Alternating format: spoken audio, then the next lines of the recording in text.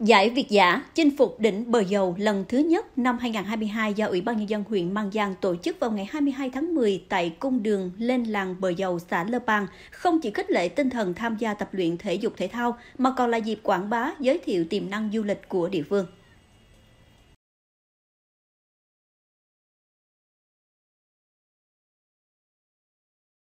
Về dự giải có các đồng chí Hồ Văn Điềm, Ủy viên Ban Thường vụ tỉnh ủy, Chủ tịch Ủy ban Mặt trận Tổ quốc Việt Nam tỉnh, Huỳnh Thế Mạnh, Ủy viên Ban Thường vụ tỉnh ủy, trưởng Ban tuyên giáo tỉnh ủy, cùng đại diện lãnh đạo một số sở ban ngành của tỉnh, cùng 100 vận động viên đến từ 27 cơ quan đơn vị trong và ngoài huyện. Với tinh thần chạy để kết nối, chạy để khám phá, nâng cao sức khỏe, chạy để vượt lên giới hạn và khẳng định chính mình. Các vận động viên nam và nữ hệ phong trào đã cùng tranh tài ở cự ly gần 4 km, Bắt đầu từ tỉnh lộ 666 lên đỉnh bờ dầu, các vận động viên được trải qua thử thách với những con dốc dài uốn lượn, điểm cuối có độ cao trên 1.100m so với mặt nước biển. Cung đường chạy nằm giữa núi rừng hoang sơ được bao bọc bởi những tán cây cổ thụ xanh mát. Sau những giờ phút tranh tài đầy hào hứng và quyết liệt, các vận động viên đã cùng nhau chinh phục đỉnh bờ dầu. Sau gần một giờ tranh tài, ban tổ chức đã trao 24 giải cho các vận động viên, trong đó có 2 giải nhất, 4 giải nhì, 6 giải ba, 10 giải khuyến khích và 2 giải phụ. Tổng trị giá giải thưởng 50 triệu đồng.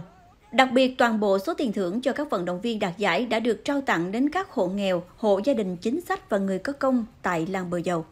Ờ, em thì ở đơn vị ờ, tinh bột sắn Gia Lai được ờ, vinh dự được tham gia giải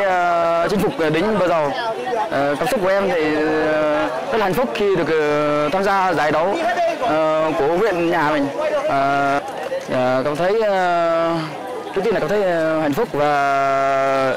tràn đầy năng lượng với những uh, gì mình uh, uh, tập luyện. Uh,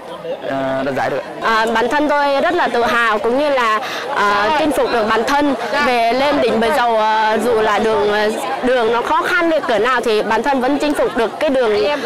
thế này và cũng là lần đầu à, cũng à, cảm ơn bên à, ban tổ chức à, huyện ủy ủy ban à, huyện Mang Giang đã tổ chức cái uh, lên đỉnh bờ dầu để chúng ta có thể trải nghiệm lên uh, núi uh, bờ dầu và cũng như là trải nghiệm uh, của uh, của người, những người dân người dân Ba Na hay uh, lên rừng để mình uh, biết được là leo núi và uh, trải nghiệm uh, cuộc sống uh, của người dân nó thế nào và chinh phục được bản thân về mọi thử thách cũng như là vượt qua mọi bản thân chính mình. Đến thời điểm này thì giải chinh phục đỉnh Bà Dầu lần thứ nhất của huyện Bang Giang đã thành công tốt đẹp. À, trong cái quá trình chuẩn bị thì huyện Bang Giang nhận được rất nhiều sự quan tâm giúp đỡ hỗ trợ của các sở ban ngành cũng như các cơ quan truyền thông báo chí. À, đây là lần đầu tiên tổ chức à, vận động viên đã hưởng ứng và tham gia rất là nhiệt tình với cái tinh thần thể thao cao thượng và các cơ quan ban ngành cũng đã phối hợp tốt trong quá trình chuẩn bị. À, thông qua cái giải này thì chúng tôi muốn à, chủ yếu là giới thiệu cho à, bạn bè à, trong cũng như ngoài tỉnh Gia Lai biết đến địa danh làng Bờ Dầu. Đây là một ngôi làng nằm trên đỉnh núi à, với phong cảnh thiên nhiên rất là hùng vĩ và có cái tiềm năng để chúng ta khai thác phát triển du lịch sinh thái và qua cái hoạt động này nữa là mục đích của chúng tôi muốn hướng đến là chúng tôi mới làm về công tác an sinh xã hội à, thì uh, các cái ờ, giải thưởng của vận động viên trong cái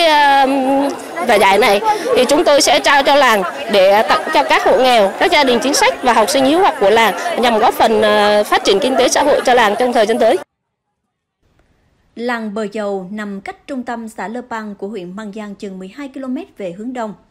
Bờ Chầu là làng đặc biệt khó khăn của xã Lơ Bang có diện tích tự nhiên gần 7.000 hecta, 130 hộ với 558 khẩu, được chia làm 8 thôn làng, chủ yếu là dân tộc Bana, và nơi đây còn lưu giữ nhiều nét văn hóa truyền thống. Giải Việt giả chinh phục đỉnh Bờ Dầu được tổ chức lần đầu tiên tại đây trở thành một cuộc đua thú vị ý nghĩa, góp phần nâng cao sức khỏe, thể lực, Đồng thời qua đây sẽ giúp địa phương giới thiệu đến bạn bè và du khách trong và ngoài tỉnh, điểm đến du lịch sinh thái văn hóa hấp dẫn trên địa bàn. Bà con ở đây là kinh mong được à, nhờ à, cơ quan, đơn vị rồi à, sẽ làm thế nào cho bà con chúng tôi phát triển nhiều hơn để xóa đói giảm nghèo. Qua cái chương trình bà con cảm thấy là trực tiếp được quảng bá những cái nông sản về cái củ mì, khoai, củ khoai rồi lá mì rồi các cơm lam Dịp này, thay mặt Ủy ban Mặt trận Tổ quốc Việt Nam tỉnh, ông Hồ Văn Điềm đã trao mô hình sinh kế trị giá 50 triệu đồng cho nhân dân làng bờ Dầu. Ban tuyên giáo tỉnh ủy, huyện ủy, Ủy ban nhân dân huyện Mang Giang cùng một số cá nhân cũng đã có nhiều món quà ý nghĩa gửi tới hệ thống chính trị và người dân làng bờ Dầu.